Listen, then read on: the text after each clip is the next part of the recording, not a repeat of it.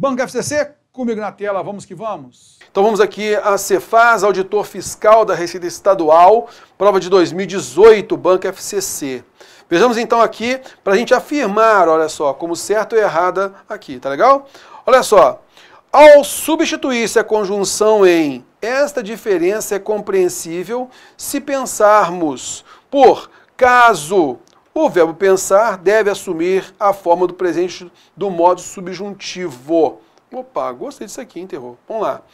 Essa diferença é compreensível. Ela é compreensível se pensarmos que uma estátua devia representar uma ideia assim, assim, assado.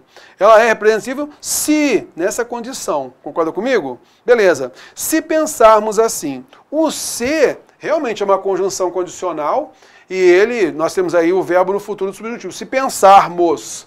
O termo, vem cá. Se a gente colocar caso aqui, tá? Caso, automaticamente o verbo vai mudar. Beleza, olha só. Esta diferença é compreensível. Caso, me ajuda aí. Caso pensarmos, caso não cabe com o futuro do subjuntivo.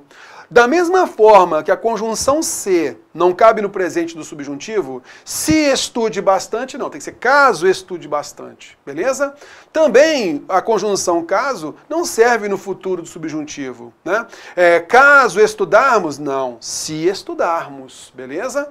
Então, neste caso, o que se falou foi justamente isso, olha só, está no futuro do subjuntivo o verbo pensarmos, aqui ó, futuro subjuntivo. Então, se eu tiro se e coloco caso, automaticamente a gente vai ter um verbo no presente subjuntivo, qual seja, essa diferença é compreensível, é compreensível caso pensemos que uma estátua devia assim ser assado. Caso pensemos, né?